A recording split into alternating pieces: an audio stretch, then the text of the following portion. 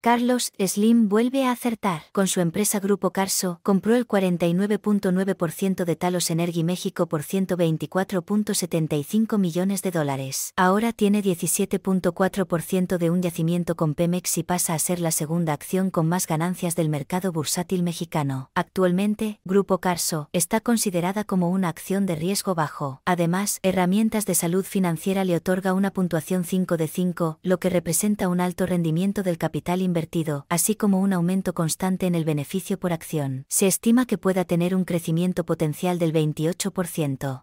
Ve al link de la bio para saber más sobre inversiones, estrategias financieras y descuentos exclusivos.